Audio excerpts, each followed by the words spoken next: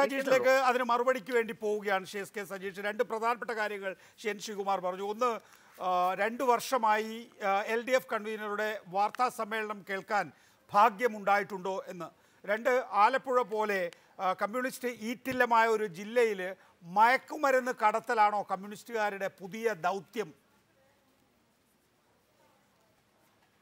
ശ്രീ നികേഷ് നമ്മൾ ചർച്ച ചെയ്യുന്ന വിഷയത്തിന്റെ പുറത്തേക്ക് പോയി കുറേയേറെ കാര്യങ്ങൾ ശ്രീ ശ്രീകുമാർ പറഞ്ഞിട്ടുണ്ട് എന്നുള്ളത് കൊണ്ട് അതിലേക്ക് കൂടി ചില കാര്യങ്ങളെങ്കിലും പറയാൻ എനിക്ക് സമയം അനുവദിക്കണം എന്ന് ആദ്യമേ സൂചിപ്പിക്കുക ഒന്ന് യു ഡി എഫിലെയും കോൺഗ്രസിലെയും പ്രശ്നങ്ങൾ ഏതായാലും ഇടതുപക്ഷത്തിന്റെയും സി പി എമ്മിന്റെയും തലയിലേക്ക് കൊണ്ടുവരണം. എങ്ങനെയാണ് അവർ മുന്നോട്ട് പോയിക്കൊണ്ടിരിക്കുന്നത് എന്ന് എല്ലാവർക്കും അറിയാം. ഞാൻ നേരത്തെ സൂചിപ്പിച്ച കാര്യം എന്താണ്? യു ഡി എഫ് എന്ന് പറയുന്ന സംവിധാനത്തിൽ ഏത് ഘടകകക്ഷിയാണുള്ളത്? പത്തു പേരെ കൂട്ടി നിർത്താൻ വേണ്ടി കഴിയുന്ന ഒരു ഘടകകക്ഷി പോലും ഇല്ലാതെ ഒരു അഭിപ്രായം പറയാൻ വേണ്ടി പറ്റുന്ന നേതൃത്വം പോലും ഇല്ലാതെ യു ഡി എഫ് മാറിയിരിക്കുന്നു. ആകെ ഉള്ളത് കോൺഗ്രസും ലീഗും മാത്രമാണ്.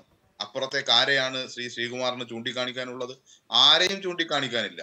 ആ ലീഗിനകത്ത് വലിയ അഭിപ്രായ വ്യത്യാസം വേറെ സതീഷ് നടന്നുകൊണ്ടിരിക്കുന്നു. എൽ ഡി എഫിൽ സി പി എമ്മും സി പി ഐയും ഒരു ഒരുപക്ഷെ ഇപ്പോൾ വന്നിട്ടുള്ള ഞാൻ അങ്ങനെ സോ ക്ഷമിക്കണം ഇടപെടുന്നുണ്ട് ഷി എസ് കെ സജീഷ്. ഞാൻ താങ്കൾക്ക് താങ്കൾ ആവശ്യപ്പെടുന്ന സമയം തരും. പ്രൊഫസർ പി ജെ കുര്യൻ നമ്മോടൊപ്പം ഉണ്ട്. Professor P J Kurien M പിമാർക്ക് ലോക്സഭയിൽ മത്സരിക്കേണ്ട എന്നാണ് പറയുന്നത്. ശശി തരൂർ നിയമസഭയിൽ മത്സരിക്കാൻ താല്പര്യം പ്രകടിപ്പിച്ചു. കഴിഞ്ഞ ദിവസം ടി എൻ പ്രതാപൻ എന്നെ നിർബന്ധിക്കരുത് എന്ന് പറഞ്ഞു. അടൂർ പ്രകാശനും രാജ്മോഹൻ ഉണ്ണിത്താനും ഒക്കെ തന്നെയും ഏതാണ്ട് ഇതേ അഭിപ്രായമാണ് എന്ന് കേൾക്കുന്നു. അതെല്ലാം പാർട്ടിയിലാണ് പറയേണ്ടത് എന്നാണ് താരിഖ് അൻവർ പറയുന്നത്. പക്ഷേ എന്തായാലും അവർ അവരുടെ ഇച്ഛ പറഞ്ഞു കഴിഞ്ഞല്ലോ. അപ്പോൾ ഇനി അവരെ മാറ്റി നിർത്തുകയായിരിക്കുമോ ചെയ്യുക ശ്രീ പി ജെ കുര്യൻ? അല്ല അത് ശ്രീ നികേഷ്. ആരാണ് മത്സരിക്കേണ്ടത് എവിടെയാണ് എന്ന് അൾട്ടിമേറ്റായി തീരുമാനിക്കുന്നത് പാർട്ടിയാണ്. പാർട്ടി യഥാർത്ഥത്തിൽ വിജയ സാധ്യത കൂടെ നോക്കിയാണ് അത് തീരുമാനിക്കുന്നത്. ഇപ്പോൾ എം പിമാർ പറഞ്ഞിട്ടുള്ളത് അവരുടെ ആഗ്രഹം മാത്രമാണ്. ആ ആഗ്രഹം അവർ യഥാർത്ഥത്തിൽ പറയേണ്ടത് പാർട്ടി നേതൃത്വത്തിലാണ്. അവരിങ്ങനെ പബ്ലിക്കിലല്ല ഇപ്പോൾ പറയേണ്ട പാർട്ടി നേതൃത്വത്തിൽ അവർ പറയേണ്ടത് പറയേണ്ട സമയമുണ്ട്. ഇനി മൂന്നര വർഷം കഴിഞ്ഞേ ഉള്ള അസംബ്ലി. ഇപ്പോഴാ ഇഷ്യൂ ഉന്നയിച്ച് ഈ കാര്യങ്ങൾ പറയേണ്ട ആവശ്യമേ ഇല്ല. എന്നാൽ എം പിമാർക്ക് പറയാനുള്ള അവകാശവും സ്വാതന്ത്ര്യമുണ്ട് അത് ഹൈക്കമാൻഡിനോട് വേണ്ട സമയത്ത് പറയണം. അപ്പോൾ കോൺഗ്രസ് പാർട്ടിയും ഹൈക്കമാൻഡും അത് തീരുമാനിക്കും. അത്രേ എനിക്ക് അതിനെ കുറിച്ച് പറയാം ഈ മത്സരിക്കണ്ട എന്നാണ് ആഗ്രഹം പറയുന്നത്. അല്ലാതെ മത്സരിക്കണം എന്ന ആഗ്രഹക്കാരല്ല ഈ തെരഞ്ഞെടുപ്പിൽ കൂടുതലായി വരുന്നത്. അപ്പോൾ മത്സരിക്കണ്ട എന്ന ആഗ്രഹം നിർവഹിച്ചു കൊടുക്കുന്നതിന് കോൺഗ്രസിന് ബുദ്ധിമുട്ടുണ്ടാവുമോ? മൂന്നര വർഷക്കാലം ആ പറഞ്ഞോളൂ സാർ. മത്സരിക്കേണ്ട മത്സരിക്കാൻ താല്പര്യമില്ല എന്നൊരാൾ തീർത്തു പറഞ്ഞാൽ അദ്ദേഹത്തെ നിർബന്ധിക്കേണ്ട കാര്യമില്ല. എന്നാൽ ഒരു പർട്ടിക്കുലർ കോൺസ്റ്റിറ്റുവൻസി പാർലമെന്റിലായാലും അസംബ്ലിയിലായാലും ഒരാൾ നിന്നേ മതിയാകൂ. ജയിക്കാൻ അതാ വേണ്ടിയെന്ന് പാർട്ടിക്ക് തോന്നിയാൽ അങ്ങനെ ആവശ്യപ്പെടാൻ പാർട്ടിക്ക് അവകാശമുണ്ട്. അങ്ങനെ ആവശ്യപ്പെടുമ്പോൾ അനുസരിക്കാനും ആ മെമ്പർ ബാധ്യസ്ഥനാണ്. കാര്യം ഇത്ര കാലം എം പി ആയിരിക്കുകയും ഈ പാർട്ടിയുടെ സ്ഥാനങ്ങളിൽ ഇരിക്കുകയും പാർട്ടിയെ കൊണ്ട് ബെനിഫിറ്റ് അനുഭവിക്കുകയും ചെയ്ത ഒരാളോട് പാർട്ടിയുടെ ആവശ്യത്തിന് വേണ്ടി ഇന്ന മണ്ഡലത്തിൽ മത്സരിക്കാൻ പറഞ്ഞാൽ അതനുസരിക്കാനുള്ള ബാധ്യത അവർക്കുണ്ട്. എന്നാൽ മത്സരിക്കാൻ താല്പര്യമില്ല എന്ന് അവർ തന്നെ പറഞ്ഞാൽ പാർട്ടി അത് പരിഗണിക്കേണ്ടതാണ്. പക്ഷെ ആത്യന്തികമായ അവസാനം പാർട്ടി എന്ന് പറയുന്നു?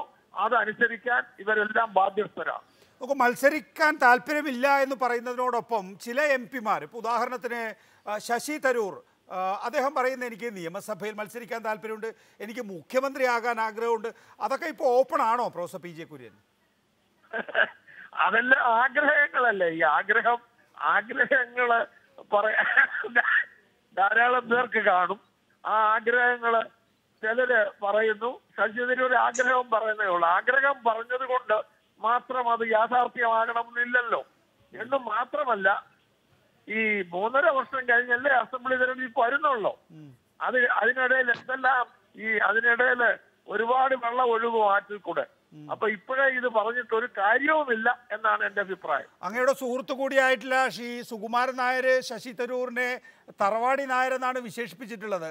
രണ്ട് നായന്മാരെ ഇകഴ്ത്തി പറയുന്ന കൂട്ടത്തിലാണ് ശശി തരൂറിനെ തറവാടി നായർ എന്ന് വിശേഷിപ്പിച്ചിട്ടുള്ളത്. അതുകൊണ്ട് ശശി തരൂറിന് അങ്ങനെ ഒരു സാധ്യതയുണ്ടോ? നായന്മാരുടെയും ക്രൈസ്തവ സഭകളുടെയും അതുപോലെ കൊടപ്പനക്കൽ തറവാട്ടിന്റെയും ഒക്കെ പിന്തുണ ഇതിനകം നേടാൻ കഴിഞ്ഞിട്ടുണ്ട്.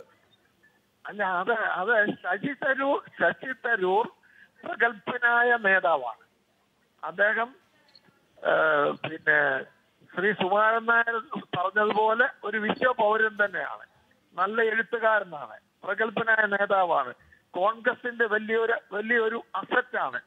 മുഖ്യമന്ത്രി സ്ഥാനത്തേക്ക് അദ്ദേഹം അർഹനാണ് പക്ഷെ വേറെയും അർഹരായ നേതാക്കന്മാരുണ്ട്. അത് ആരാണെന്നുള്ളത് തെരഞ്ഞെടുപ്പ് കഴിയുമ്പോൾ തെരഞ്ഞെടുക്കപ്പെട്ട എം എൽ എമാരും പാർട്ടിയും കൂടെ തീരുമാനിക്കും.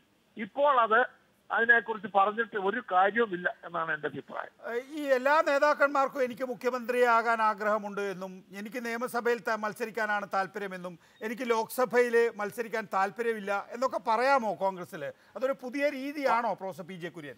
പറയാതിരിക്കുന്നതാണ് നല്ലത് എന്നാണ് എന്റെ അഭിപ്രായം. സംഘടനാപരമായി പറയാതിരിക്കുന്നതാണ് പാർട്ടിക്കും അവർക്കും നല്ലത്. പിന്നെ പറഞ്ഞിട്ടുണ്ടെങ്കിൽ കോൺഗ്രസ് അഭിപ്രായ സ്വാതന്ത്ര്യമുള്ള ഒരു പാർട്ടിയാണ് എന്ന നിലയിൽ ആഗ്രഹം പറഞ്ഞത് അതിനെ സംബന്ധിച്ച് അത് അതിനാരും നടപടിയെടുക്കോ സീരിയസ് ആയിട്ട് എടുക്കുകയോ ചെയ്യത്തില്ല. ഇനിയും പറയരുത് എന്ന് നിർദ്ദേശിക്കുമെന്നല്ലാതെ അതൊരു അച്ചടക്ക രാഹിത്യമായിട്ടൊന്നും ആരും കാണത്തില്ല.